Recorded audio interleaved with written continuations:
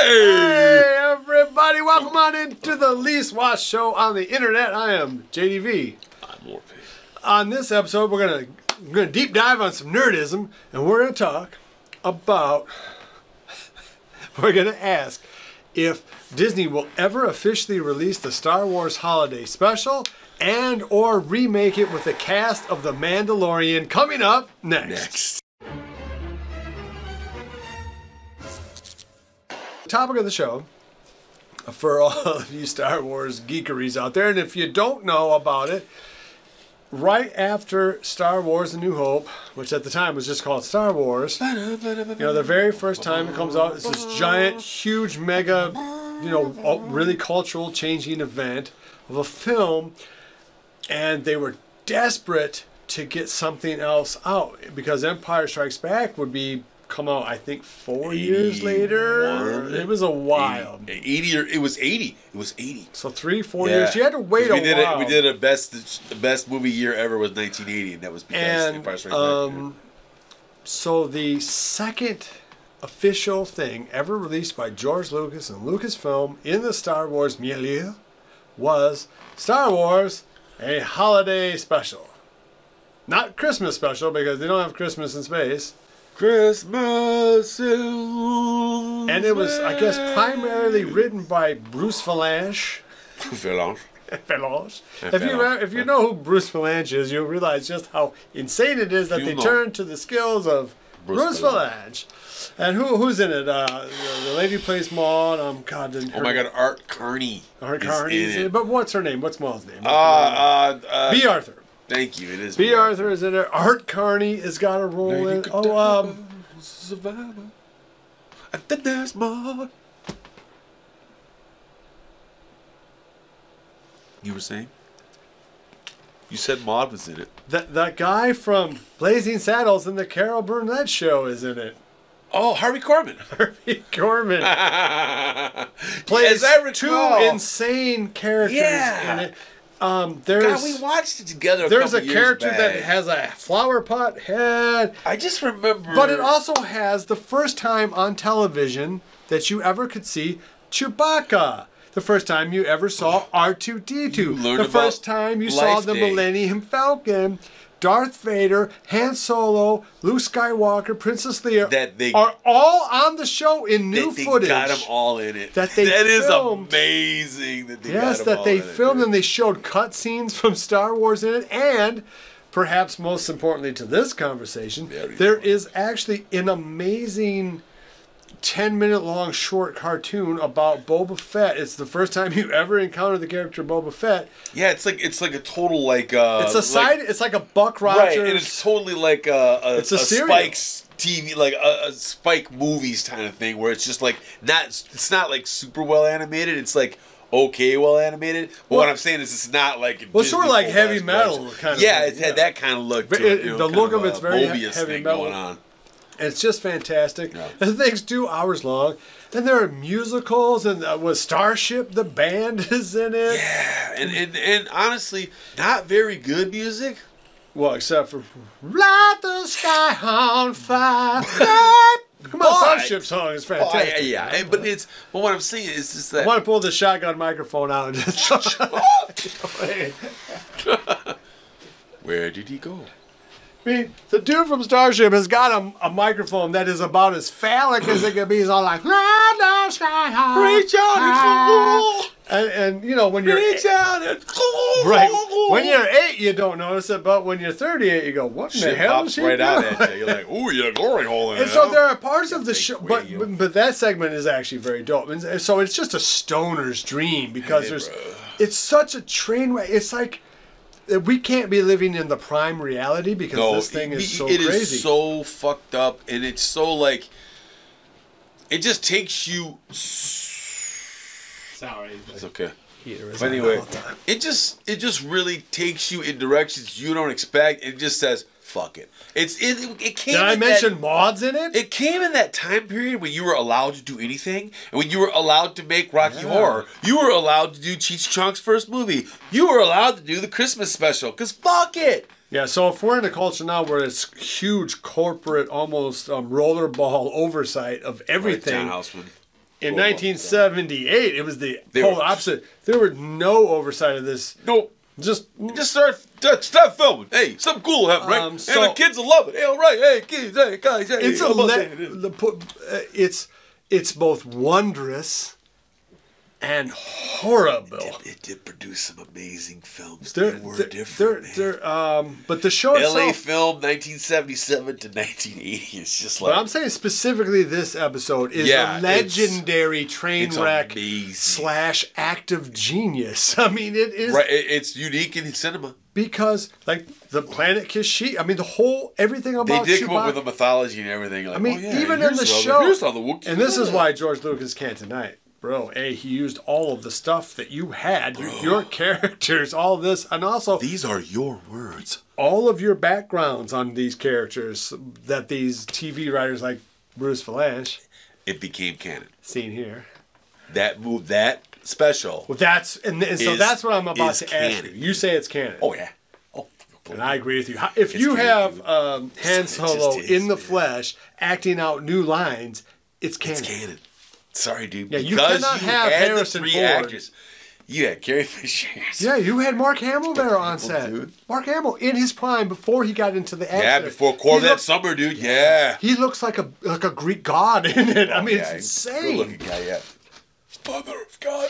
It's over. Ragnarok! The end of all things! Oh God! I regret nothing! You should regret a lot, like the lack of soap. I agree with you. It's canon. Yeah, Snake. it's so- uh, should uh, the Star Wars Holiday Special be considered canon? Yes or no? Yes. Of course. Of course. Uh, there's only one answer. There's no, not even a debate here. That's for Kashyyyk, apparently. Yeah, right. See? Boom! Instantly, man! The Kashyyyk! Come on! Right, so did George steal that? Or did he there? Oh, that's a great idea. I'll steal that for the Star Wars too. No, come on, man. No, no. That was in there, and uh, Amazing. but they only aired it one time. So the only way that anybody has ever seen it now, including I think it, you can still get it on YouTube. I Don't think you me. can, maybe. I'm pretty sure. But, But before then, it was all bootleg copies, But dude. no, all of no, no, no. I'm saying when you watch it on YouTube, when you download it or torrent it, what you are watching are at the time some people had beta VCRs. Betamax. Yeah, Betamaxes.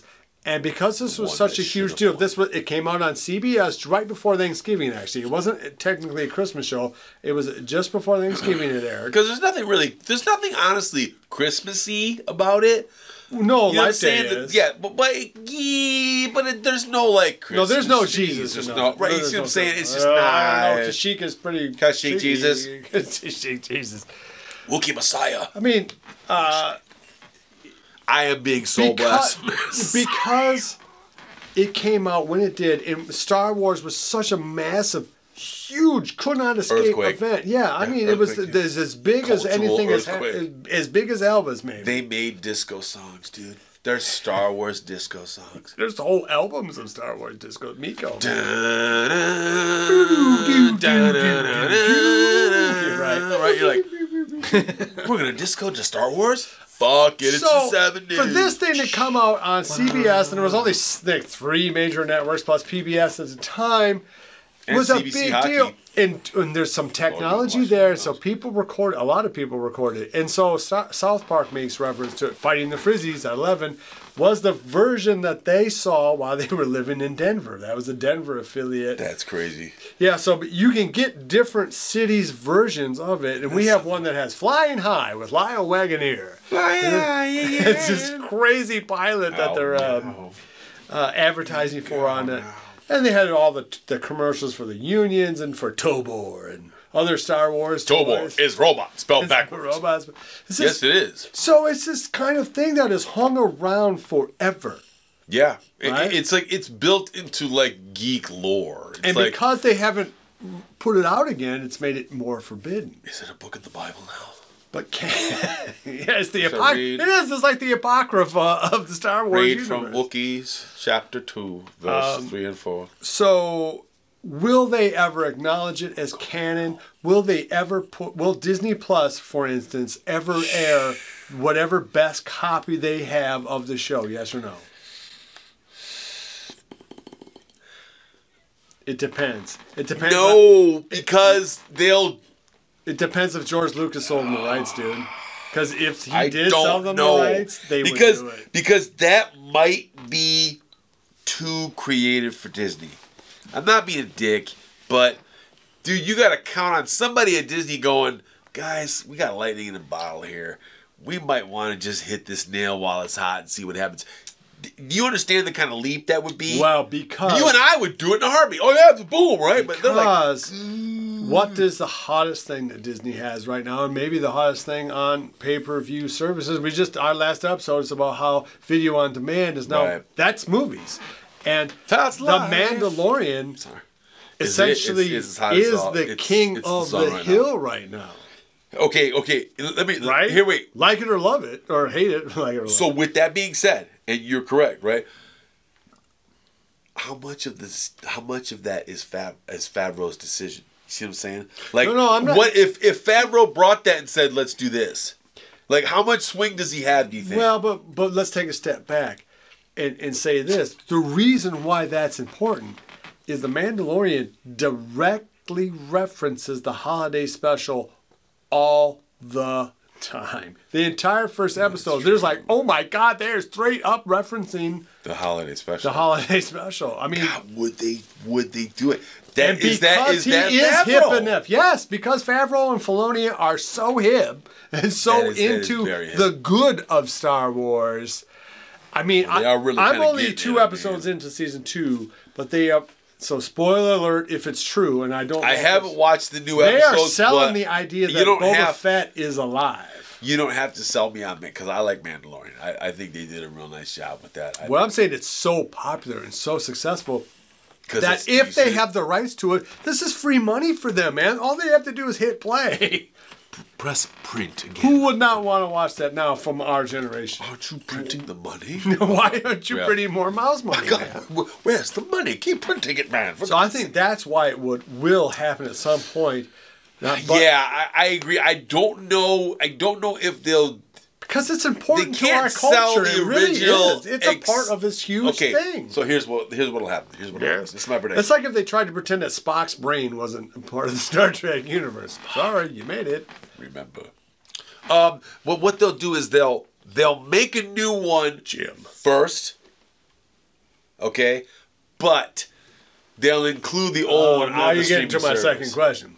Oh, I'm sorry. Well, your second question, I just answered. So you you you think that they would rather remake it? Let's we'll Yes. say with some of the Mandalorian cast. Yes, and the reason for that is because Well, then they- you then and I, really you and I would dig the holiday special, but it would be a little inaccessible. There is a third option. for some people. Well, give me your third option. They put them both out at the same time.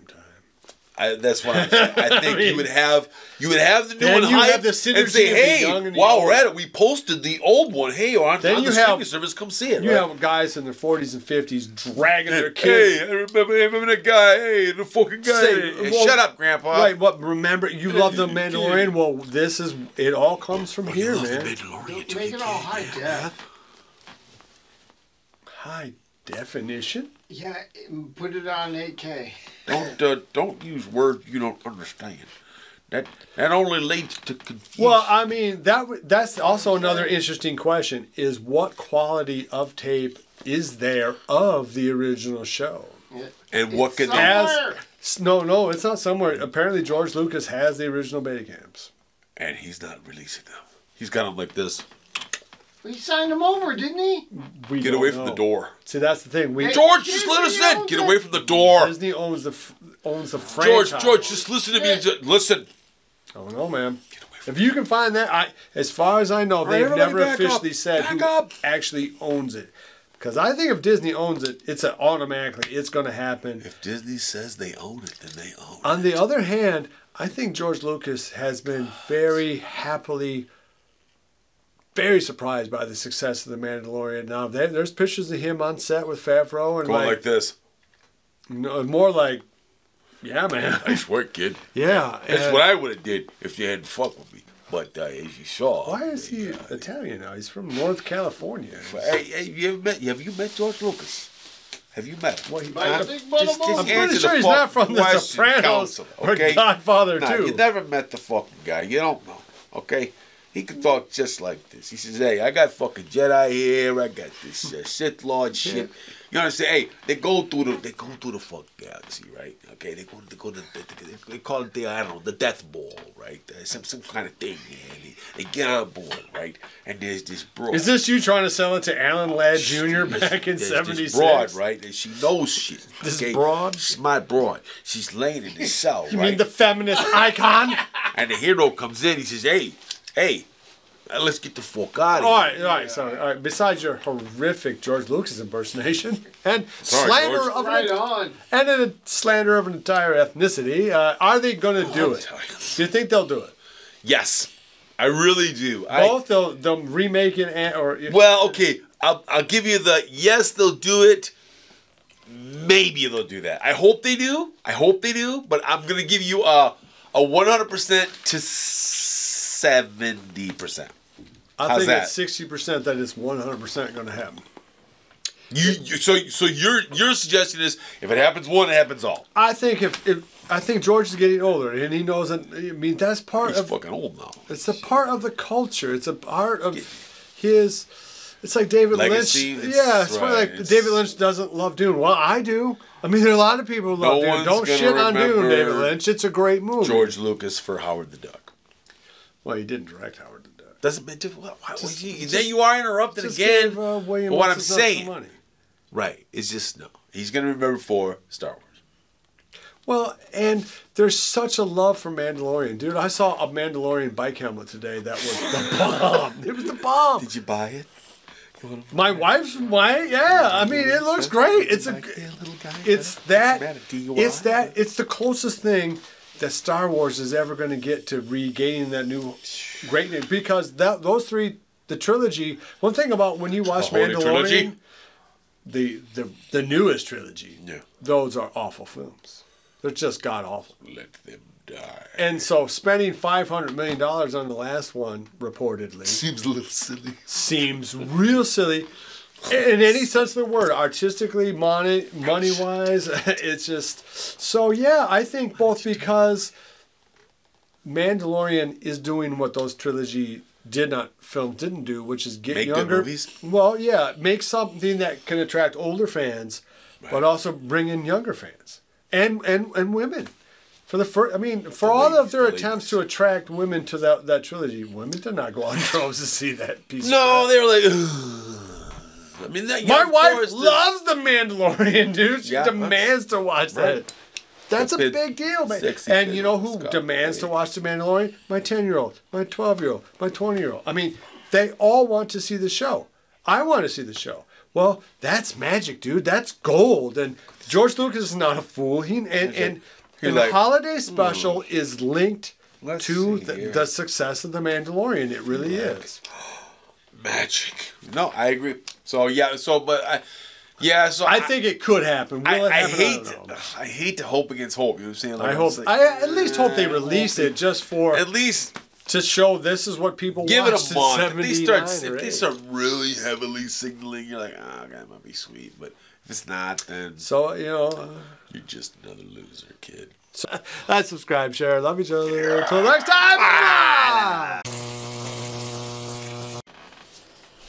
Oh my god, Again, dude! But every show, it's, I don't, I don't know. What's this is like our happening. 90 second show, dude. something disturbance in the force. Disturbance. Uh, yeah. I can feel it in the water. Hate is what it is. Be sure to visit evilgeniusentertainment.com for exclusive content, swag, casting call news, and much, much more.